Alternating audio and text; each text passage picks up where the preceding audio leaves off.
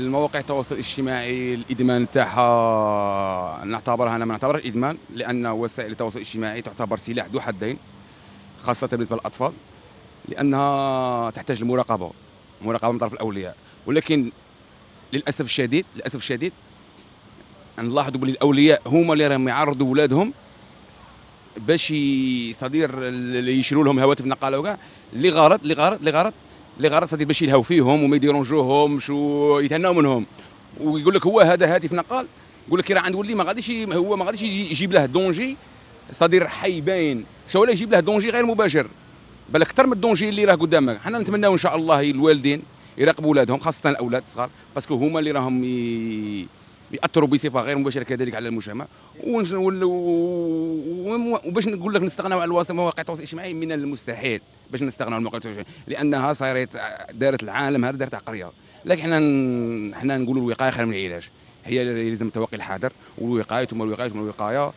وهذه ماشي هذا هذا هذه هذه ماشي مهمة تاع إنسان واحد ولا هذه مهمة مشتركة تاعنا كاع. هذه لا بغى ما يكونش إنسان ولدك ولا تعرفه ولا تشوفه في المواقع الاجتماعية ولا يدير حاجة ماشي. تنصحه ولا هذه زعما من باب من باب الدين تاعنا يقول كيما هكا ومن باب المبادئ تاعنا والأخلاق تاعنا. إحنا ما إحنا مسلمين. واش نقولوا إحنا؟ إحنا نقولوا كاع كاع نخطئوا أخطاء زعما فيها فيها أخطاء. لكن الانسان يسيي le maximum يقلل من هذه الأخطاء. وإن شاء الله إن شاء الله إن شاء الله غير خير لبلادنا وتحيا الجزائر. راك حاب تتنقل بكل أمان وأريحية وين ما حبيت؟ وقت ما حبيت؟ يا طير service ما راحش تلقى خير منها. واش راك تستنى؟ طلع ال application وسجل نفسك بطريقة سهلة. اكتب الاسم واللقب. الإيميل.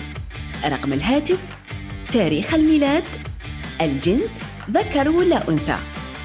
يلحقك SMS في الرقم اللي سجلت به دخل الأرقام الموجودة في ال SMS وابدأ أول رحلة تاعك معنا. واغتنم التخفيضات اللي توصل لحتى الخمسين بالمئة معايا طير قاع نطيرو زير تيوب أول قناة إلكترونية في الجزائر.